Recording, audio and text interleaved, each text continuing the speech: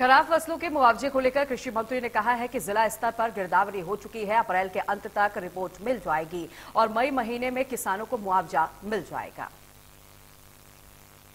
मुआवजा देने की प्रक्रिया ये है कि उसका खराबा हो उसकी गिरदावरी हो डिस्ट्रिक्ट लेवल पर चेकिंग हो प्रदेश स्तर पर एफ़ सी आर के पास पहुँच जाए, फिर उसका मुआवजा हमारी लगभग जिला लेवल पर चेकिंग हो चुकी है, उसका आकलन करके अप्रैल के महीने में हमारे पास पहुँच जाएगा। मई हम सारा पैसा डाल देंगे। और सबसे जल्दी, सबसे ज़्यादा मुआवजा देने वाली हरियाणा सरकार है।